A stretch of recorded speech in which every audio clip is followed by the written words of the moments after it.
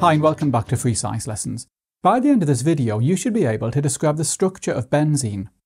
You should then be able to describe the evidence supporting this structure.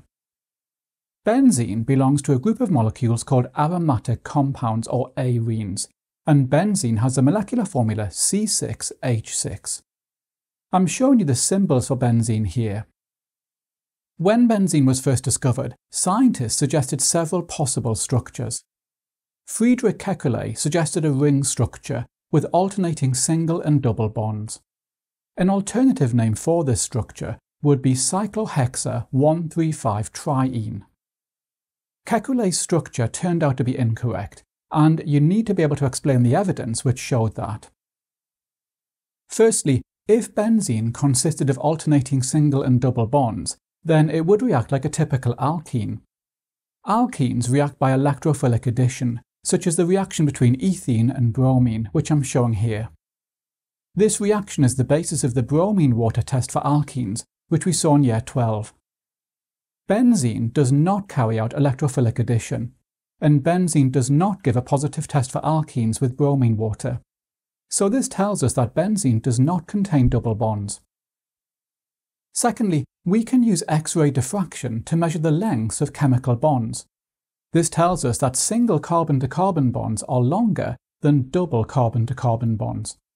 However, in benzene, the carbon-to-carbon bonds are all the same length, and this length is between a carbon-to-carbon double bond and a carbon-to-carbon single bond, again supporting the idea that Kekulé's structure is incorrect.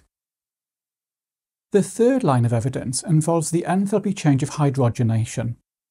I'm showing you here the cyclic alkene cyclohexene we can hydrogenate cyclohexene, adding hydrogen across a double bond to form cyclohexane.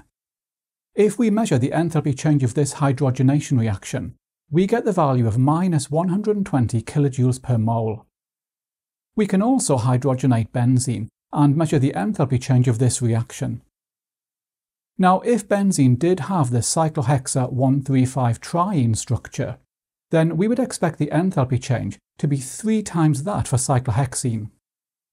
In other words, the expected enthalpy change of hydrogenation of benzene would be minus 360 kilojoules per mole.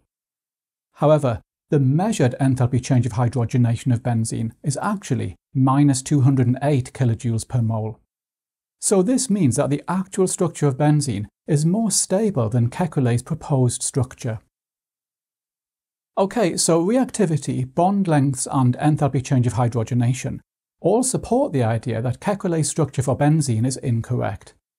But there's also a fourth line of evidence. If Kekulé's structure was correct, then we should be able to make two isomers of 1,2-dibromobenzene. Isomer 1 has a bromine atom on either side of the double bond between two carbon atoms, whereas isomer 2 has a bromine atom on either side of the single bond between two carbon atoms. However, these two isomers cannot be made, showing that Kekulé's structure is incorrect. Scientists now accept the delocalized model of benzene structure. Benzene is a planar hydrocarbon with six carbon atoms arranged into a cyclic structure, and all the bond angles in benzene are 120 degrees. Remember that carbon atoms have four bonding electrons.